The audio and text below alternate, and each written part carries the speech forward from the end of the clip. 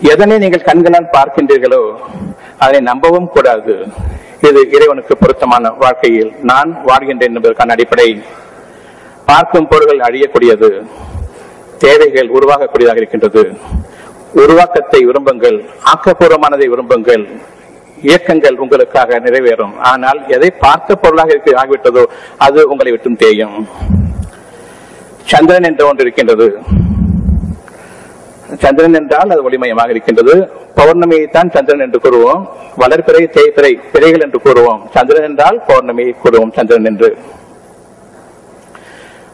அந்த சந்திரனானது சூரியனுடைய ஒளியை கிரகித்து அதனுடைய ஒளியை பிரதிபலிக்கின்றது. அவ்வளவுதான். அதற்கென்று ஒளி கிடையாது. சந்திரனுக்கென்று ஒளி கிடையாது. அந்த ஒளியை அது இங்கு அனுப்புகிறது. அந்த சந்திரனுடைய ஒளியானது நீங்க நீங்க தேய்பிறையாகி பிறகு அமாவாசை ஏற்படுகின்றது. அமாவாசை வந்துட்டு காரணமாக சந்திரன் இல்லாமல் இல்லை இருக்கிறது.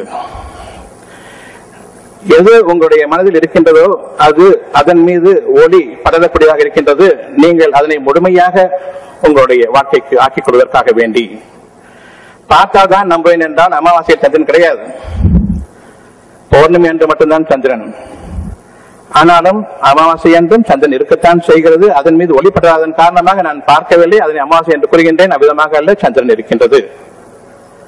உங்களுடைய உள்ளத்தில் ஒரு அருள் சுகமான வாழ்க்கை வேண்டும் என்று விதைக்கப்பட்டிருக்கின்றது. அதன் மீது உங்களுடைய அறிவின் ஆற்றலுடைய ஒளி இனிதான் அதன் மீது படர இருக்கின்றது. வளர்பிறையின் மீது நீங்கள் இருக்கின்றீர்கள். எப்பொழுது முழுமதியான சந்திரனை போன்ற ஒரு அமைப்பு இதுதான் எனக்கு வேண்டும் என்று கொஞ்சமும் அதன் மீது சந்தேகம் இல்லாமல் அதனை நீங்கள் நிராகரித்து விடுவதற்கு முன்பாக ஏற்றுக்கொண்டீர்களே நம்பிக்கை கொண்டீர்களே வேண்டும் என்று அந்த வேண்டுதலை ஏற்றுக்கொண்டான். இனி அதன் மீது ஒளி படர இருக்கின்றது. இது ஞானமிக்க ஒளியாகவும் அறிவின் ஒளியாகவும் இருக்கின்றது. அந்த அறிவின் ஒளிதான் உங்களுடைய வழி- வழிபாதையை தவிர நாம் பார்த்து கொண்ட இந்த ரோடுகளின் மீது நம்முடைய வாழ்க்கை பாதை அல்ல. அறிவின் ஒளி வேண்டும். இந்த அறிவின் ஒளியில் தான் கவனம் சிதறாது. பார்க்கக்கூடிய பார்வையின் அலங்காரங்களில் பல விதங்களில் என்னுடைய கவனம் சிதறிவிடும். என்னுடைய பார்வையின் மீது திரை இருக்கின்றது. சந்திரனை நான் நம்புகின்றேன். அவ்விதமாக அல்ல ஒளியை நான் நம்பவில்லை. இந்த ஒளியை நான் நம்புகின்றேன். அந்த ஒளி மங்கும் தேயும். அமாவாசையாகவும் மாறும். ஆனால் இது ஒவ்வொரு நாளும் பரிணமித்துக் கொண்டிருக்கும். இதில் வளரும் வளரும் இல்லை தேய்படையும் இல்லை முற்றிலும் அடைந்தாக இல்லை. நான் ஒவ்வொரு நாளும் நான் வளரும் பொழுது மனிதர்களை நம்பி வாழ தேவையில்லாத வாழ்க்கையில் நான் வளர்ந்து கொண்டு வரும் பொழுது ஒவ்வொரு நாளும் முழுமதியாக நான் வளர்ந்து கொண்டிருக்கின்றேன் என்பது பொருள். இந்த முழுமதியின் மீது இறைவன் கொடுத்த ஒரு வார்த்தை என்பது முழுமையாக வேண்டும் அவ்வளவுதான். இது அரைகுறை கிடையாது. சுகம் வேண்டும் அவ்வளவுதான். சுகத்தில் அரைகுறை சுகை சுகம் கிடையாது. எனவே நான் என்னுடைய இறைவன் ஒவ்வொரு விஷயத்தையும் அளிக்கும் பொழுது அது சந்திரனை போன்று அமைத்திருக்கின்றான். அதன் மீது என்னுடைய ஒளி படர வேண்டும். ஞானங்களின் அடிப்படையில் அந்த நம்பிக்கையின் காரணமாக கவனத்தின் அடிப்படையில் என்னுடைய அறிவின் ஆற்றல் அதன் மீது படர இருக்கின்றது இப்பொழுது எந்தென்றுமே வளர்ப்பறையில் நான் இருக்கின்றேன். ஏனென்றால் இறைவனுடைய வார்த்தைகள் எனக்கு மேலும் மேலும் மேலும் ஒவ்வொரு நாளும் அழகான தேவைகளாக உருவாகி கொண்டிருக்கும் பொழுது அதன் மீது என்னுடைய வாழ்க்கையை நான் பிரியப்படுகின்றேன் அமைக்கின்றேன். இந்த வார்த்தையின் மீது நான் நம்பிக்கை கொள்ள இன்று முதலாக நான் என்னுடைய வாழ்க்கையை ஆரம்பம் செய்கின்றேன்.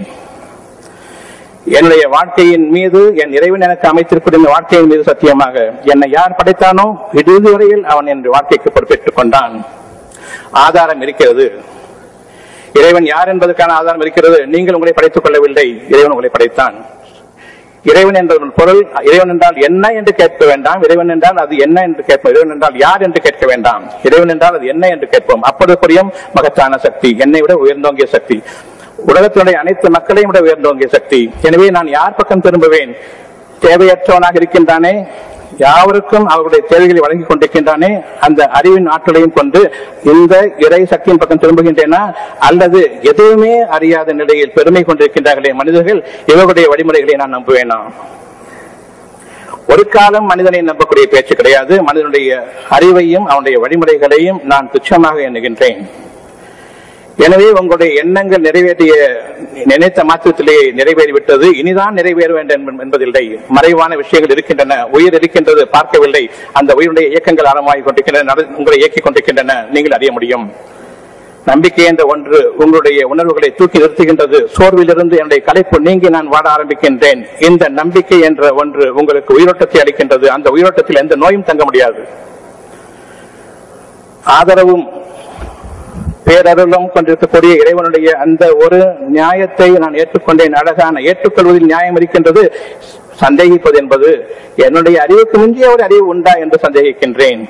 ஆகவே அந்த நியாய தீர்ப்புக்காக அந்த நாளுக்காக நான் காத்திருக்கின்றேன்.